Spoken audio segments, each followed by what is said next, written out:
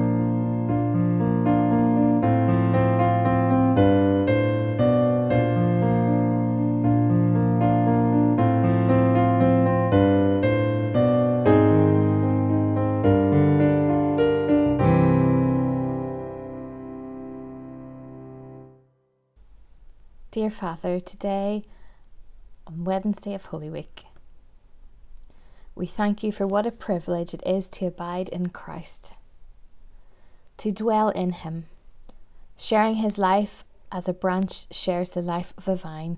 Thank you, Lord, that you're in our lives. Work in our hearts, Lord, to keep us abiding in Christ, to be filled with His Spirit day by day and moment by moment by simple faith. Lord, show us any hindrances to this in our lives and enable us to fling them aside. Lord, may your word live in us richly. May we keep your commandments and abide in your love. May we so fully identify with you as the vine that people around us will see in us His nature and His life. Lord, may this be especially true in our relationships, in our work, in our marriages, in our family life, and with our friendships. Amen. Let's pray the prayer now that Jesus taught us. Our Father, who art in heaven, hallowed be thy name. Thy kingdom come, thy will be done, on earth as it is in heaven. Give us this day our daily bread, and forgive us our trespasses, as we forgive those who trespass against us. and lead us not into temptation, but deliver us from evil. For thine is the kingdom, the power, and the glory, for ever and ever. Amen. Our reading this evening is taken from John chapter 12, verses 20 to 36. This is the Gospel of the Lord. Now, among those who went up to worship at the festival were some Greeks. They came to Philip, who was from Bethsaida in Galilee, and said to him, Sir, we wish to see Jesus. Philip went and told Andrew. Then Andrew and Philip went and told Jesus. And Jesus answered them, The hour has come for the Son of Man to be glorified. Very truly I tell you, unless a grain of wheat falls into the earth and dies, it remains just a single grain. But if it dies, it bears much fruit. Those who love their life lose it, and those who hate their life in this world will keep it for eternal life. Whoever serves me must follow me, and where I am, there will my servant be also. Whoever serves me, the Father will honour.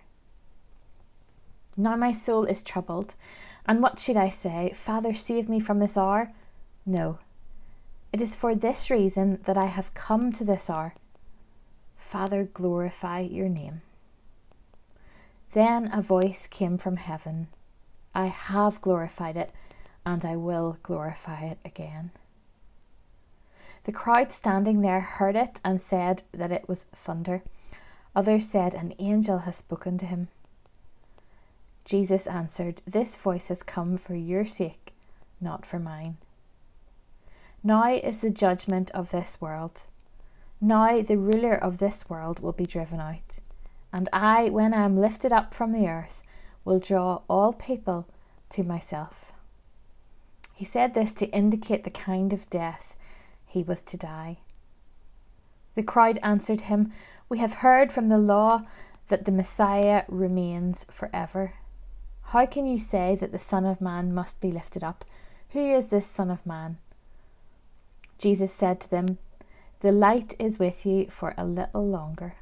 Walk while you have the light, so that the darkness may not overtake you. If you walk in the darkness, you do not know where you're going. While you have the light, believe in the light, so that you may become children of the light. After Jesus had said this, he departed and hid from them. Amen. And may God bless us this reading from his word.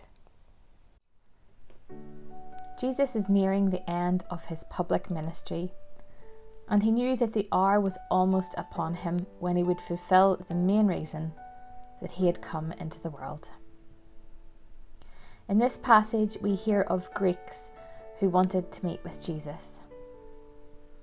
This is significant as it's an indication of things to come, and Gentiles being included in the kingdom.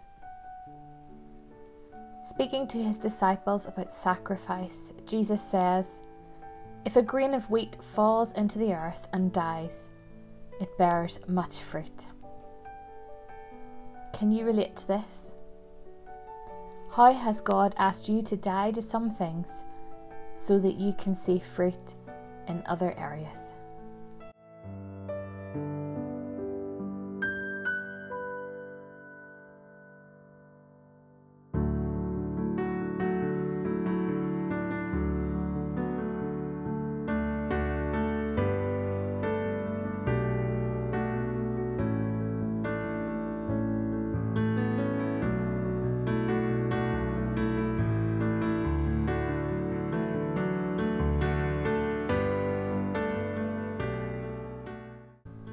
Jesus continues by saying, Those who love their life will lose it. Those who hate their life in this world will keep it for eternal life. Instead of asking the Father to save him from this hour, in other words, the pain of the cross, Jesus asks the Father to glorify his name. Is there anything in this life that you love which is holding you back in becoming more Christ like and fulfilling God's purposes for you? How can you glorify God's name?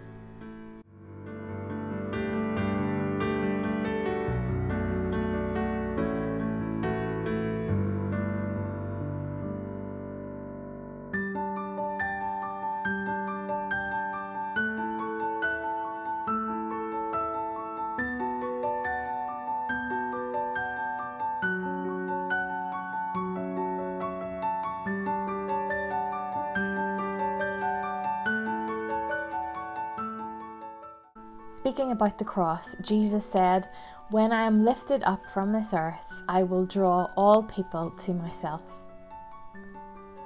Take a few moments to thank God for His salvation plan today and to pray for someone that you know who needs God's love in their life.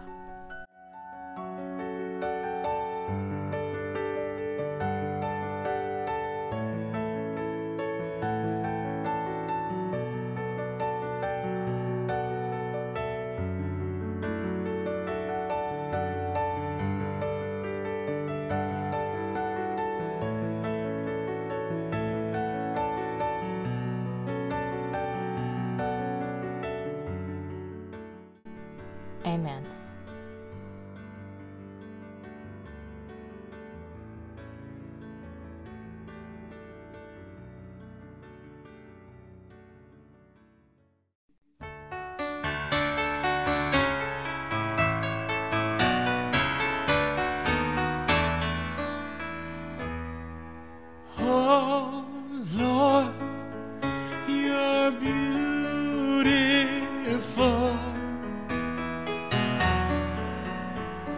Your face is all I seek. For when your eyes are on this child, your grace abounds to me.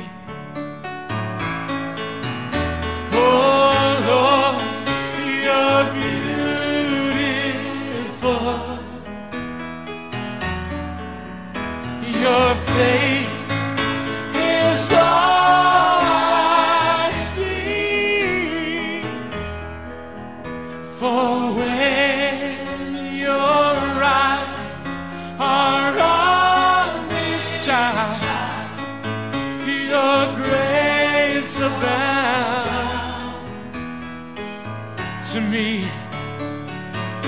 I wanna take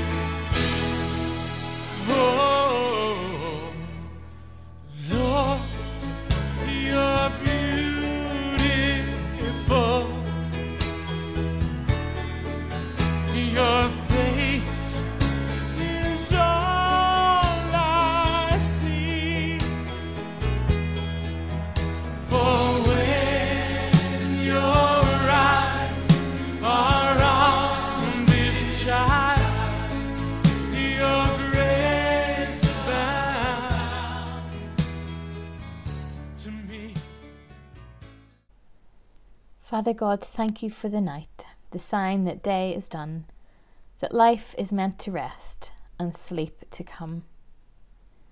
Thank you for the quiet as silence scatters sound, while God in both is waiting to be found. Thank you for the dark to complement the light as insight open eyed replaces sight.